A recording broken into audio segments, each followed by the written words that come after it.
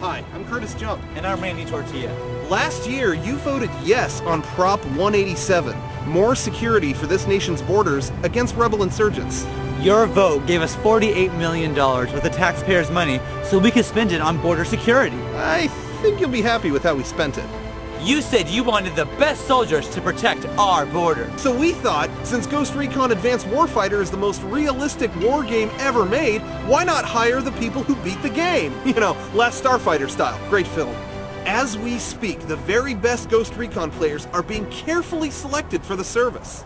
Alright, I beat it. Get off the ground! Don't you move! Tell them We've got live footage.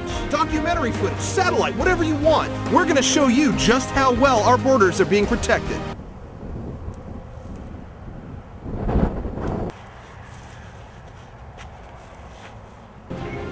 You may think he's a nerd, But when trouble heats up, he's as cool as ice. Cougar tracks.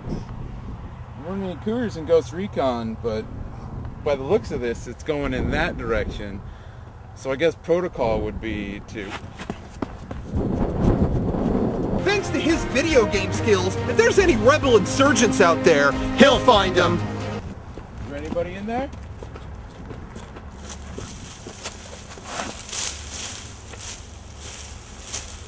All clear.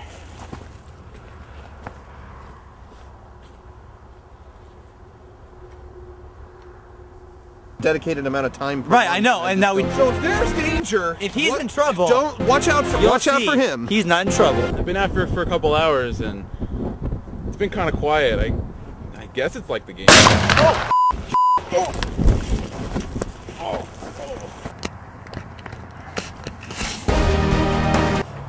For all your support, thank, Thank you. you. Well, we f***ed that up. Three, two, one. Thank you.